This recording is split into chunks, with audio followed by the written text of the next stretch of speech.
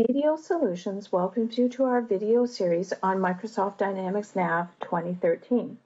In today's video, we will be discussing filtering in NAV 2013. Field filters are used to restrict display of certain records.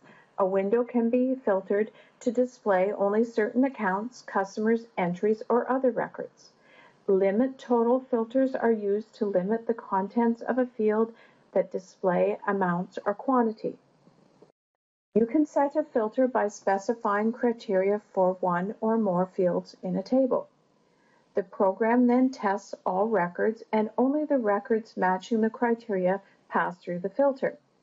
If criteria is specified for several fields at the same time, records must match all criteria to pass through the filter.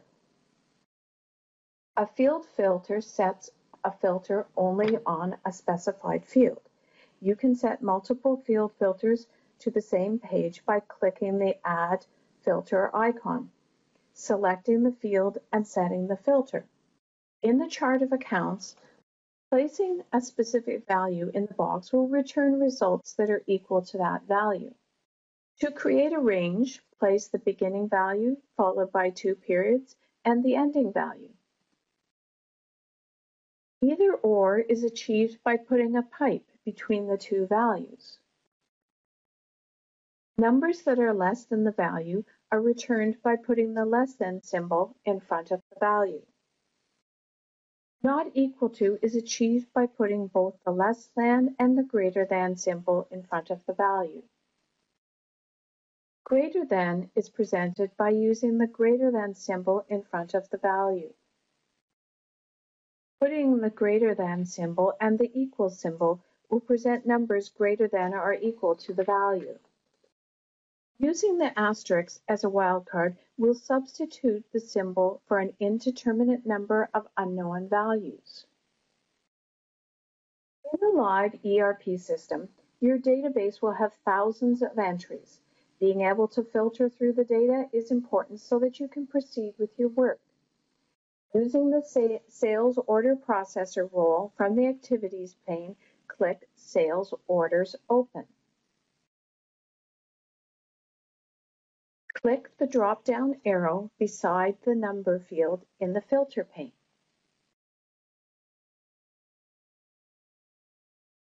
Click the Sell-to Customer Name.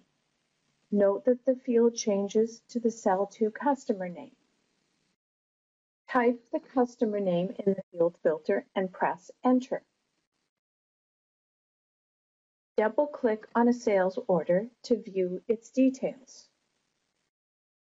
Press the Escape key to close the details page. Click the X beside the filter to clear the filter. For more complex filtering requirements, you can choose multiple filtering criteria. In our next example, you will find items with the following characteristics. No bills of material, no adjusted costs, and a vendor number of 20,000. From the Navigations pane, click Items. Use the up and down arrow to the right of the filtering information to drop down filtering to more advanced options. In the Where field, select Production BOM number. In the Select a Value field, enter two single quotes, which means a blank. Click Add a filter. Select Cost is adjusted.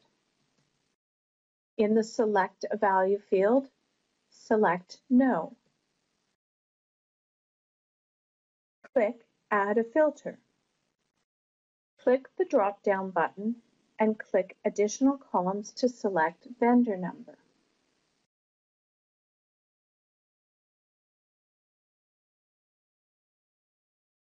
In the Enter a Value box, type in 20,000. You are now seeing records where there is no production BOM, no adjusted cost, and the vendor number is 20,000. This ends our video for today. BDO Solutions thanks you for joining us, and please check out our website at www.bdosolutions.ca.